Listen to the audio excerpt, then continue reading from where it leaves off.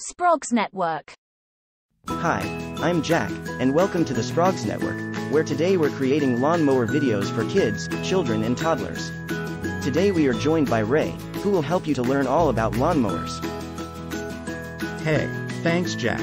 Yeah, it's great to be with you on the Sprogz Network where we'll be learning lots of fun facts about lawnmowers for kids. Please hit subscribe for free below to help Sprogz grow, and let's get started, because you won't believe the amazing lawnmowers we have coming up. So, what have we got here then, Ray? Said Jack. This is a great shot of an amazing new ride on lawnmower back near to where I live. So, my notes say that a lawnmower, or mower, is a machine that uses blades to cut grass on a lawn. That's right Jack. There are different types of lawnmowers. There are small lawnmowers you push and big ones you sit on. Lawnmower blades generally spin on a vertical or horizontal axis, and are named rotary mowers and reel mowers, respectively. The smallest are pushed by a human, they are good for small lawns and gardens. Whilst ride-on mowers are good for larger lawns. The largest are pulled behind a tractor, they are made for grass at places like golf courses and parks. Always wear safety equipment while working with these machines. A lawnmower functions by spinning either a thin blade or a small piece of cable to cause lacerations on the stems of grass and other plants, severing the plant and reducing the height of the plant to a more pleasing appearance. The first lawnmower was invented by Edwin Budding in 1827 in Thrupp, just outside Stroud, in Gloucestershire, UK. The average American spends, on average, 4 hours per week taking care of their lawn. That adds up to an average of 208 hours per year, or over 8 days. All the better of a reason to find more efficient ways to take care of your lawn. Powered lawnmowers cause 68,000 injuries every year, probably the least fun of the fun facts, but an important one to remember anytime you're around a lawnmower. That's amazing when you think about it right Jack? That's awesome, Ray. What else? So, one out of every five homeowners rely on a lawn care professional to take care of their lawn. The amount of pollution emitted by the average lawn when run for an hour is equal to that of a car being driven for roughly 200 miles. For the environmentally concerned, or just plain lazy, that's a great reason to mow your lawn a little less often. Of the roughly 50 million acres of grass in the United States, roughly 21 million of those acres are private lawns. There's even a museum dedicated to the lawnmower, the British Lawnmower Museum, in Merseyside, Great Britain. Lawns are great at producing oxygen. A 50 foot by 50 foot lawn can release enough oxygen throughout the day for the needs of one person. This makes grass great for maintaining balance in the ecosystems. Children should be at least 12 years old to operate a push mower and at least 16 years old before using a ride-on mower.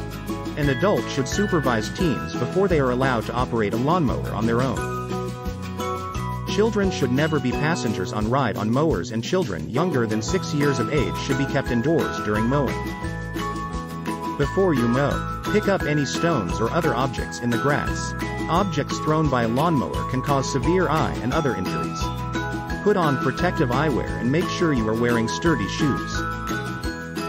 When an adult turns it off, wait for the blades to stop completely before removing the grass catcher, unclogging the discharge chute, or crossing gravel roads. More than 8,490 children are hurt with lawnmower-related injuries each year. For safety, today's mowers come with a blade brake control on the handlebar that stops the blade if the operator releases the control, or a kill switch that stops the motor entirely.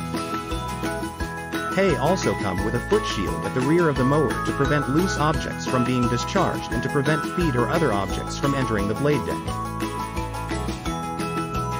Finally, lawnmowers are mechanical or robotic devices used to cut grass, often lawns or grass fields, using blades.